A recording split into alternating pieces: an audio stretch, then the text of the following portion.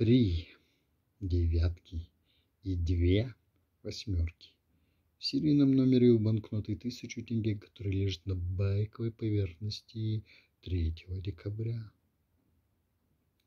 Причем девятки расположились таким образом, что составляют целых две зеркальные цифры 2, 2, 6, 9. Вторая зеркальная цифра, в которой участвуют девятки, это 9, 8, 9.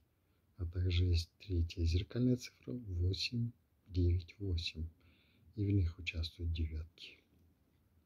Поэтому девятки получают такое серьезное усиление. А девятка это цифра духовности, число духовности. И параметр духовности энергетически усиливается у этой банкноты ну, более чем в три раза. Ну, 3,4 раза, скажем так, вот так усиливается. А восьмерка это число силы, усиления, да?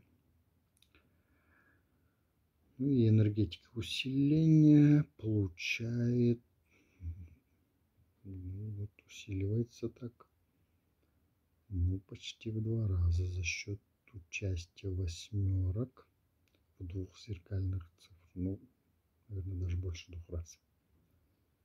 Первая зеркальная цифра 9, 8, 9, вторая зеркальная цифра, в которой участвует восьмерка, это 8, 9, 8 банкноте целых три зеркальных цифры, да, раз, два, два,